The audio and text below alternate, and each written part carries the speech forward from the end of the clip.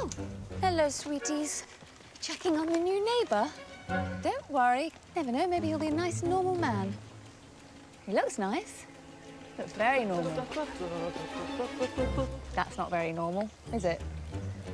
That's normal. Hmm.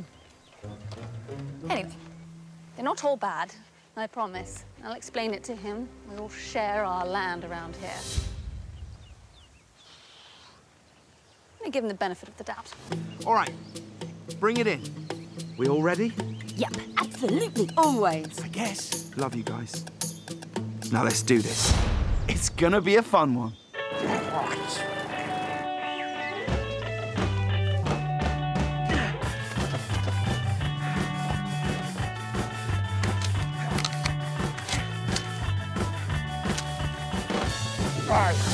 Lettuce, radishes, radicchio.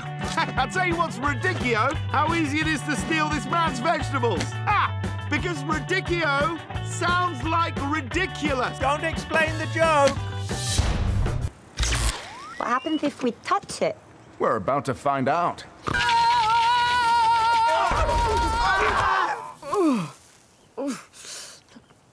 Look away. Rabbits are Generous, honest, pure. graceful creatures. Our natural rabbit's pace should be able to keep up. Ah! Do you know what? That would never have worked.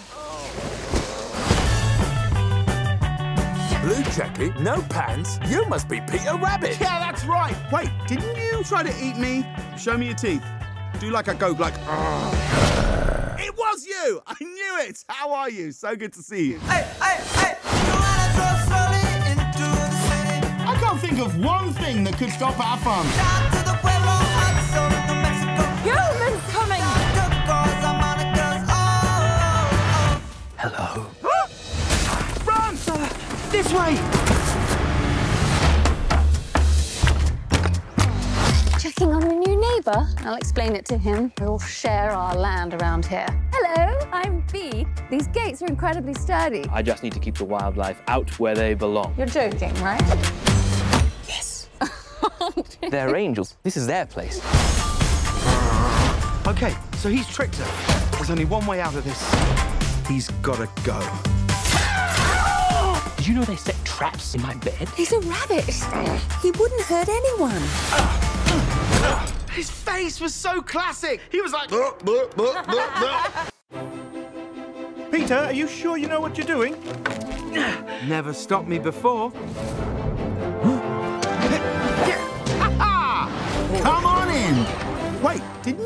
Try to eat me? Show me your teeth. Do like a goat, like. "Argh." It was you. I knew it. How are you? So good to see you. Hello. Run!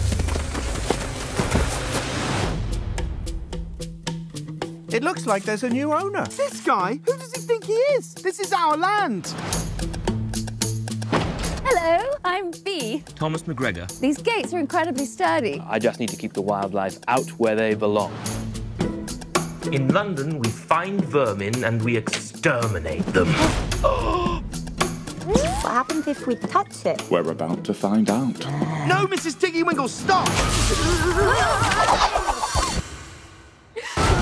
Oh, Do you know what? That would never have worked.